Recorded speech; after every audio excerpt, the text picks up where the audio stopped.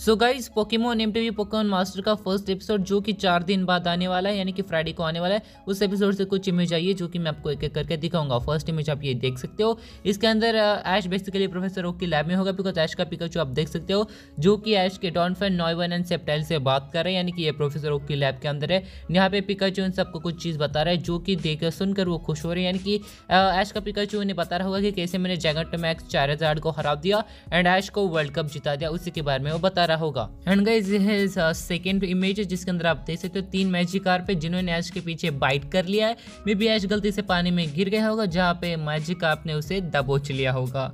देख सकते हो पिकाचो हंस रहा है खुश हो रहा है भाई? वो लिटरली वहाँ पे डांस कर रहा है कि भाई ऐश को दुख में दिक्कत तुझे बड़े मज़े आ रहे यार। एंड गाइस ये है थर्ड पिक जिसके अंदर आप देख सकते हो Jessie and James and Wobbuffet जो कि उल्टा चमगादड़ की तरह लटका हुआ है। यहाँ पे म्याउथ एंड वो सब अपना डायलॉग बोल रहे हैं। एंड गाइस यहाँ पे आप देख सकते हो जेसी एंड जेम्स ने पिकाचू को पकड़ लिया। बेबी ये एपिसोड वन का सीन होगा, जब टीम रॉकेट आएगी एंड ऐश के पिकाचू को पकड़ लेगी, उसके बाद वापस से ऐश उसे छिड़ाने ही वाला है। तो या, ये थी लास्ट पिक एंड ये थी गाइस तीन इमेज जो कि एपिसोड वन से आए थे।